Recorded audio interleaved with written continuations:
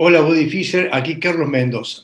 Soy autor del libro Cuerpo Humano, Manual del Usuario y coautor del libro de Silvia Rabasa, eh, Tiempo Roto. Ambos ejemplares los pueden adquirir aquí abajo. En el video de hoy vamos a tocar el tema evolución de la mecánica de carrera. Ya van a ver de qué se trata. Pero antes nos presentamos.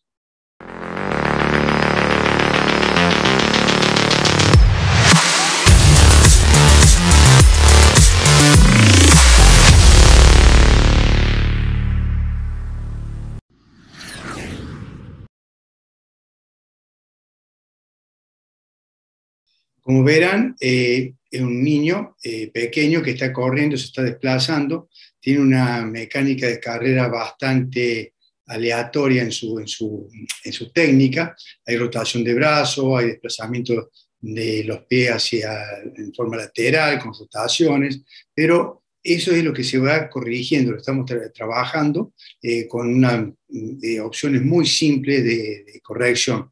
Y observen cuando en la fatiga es cuando se desarma más todavía. Él está tratando de seguir unos patrones de movimiento que se le han indicado, pero cuando se cansa ya no hay eh, técnica o mecánica que, que pueda este, ayudarle.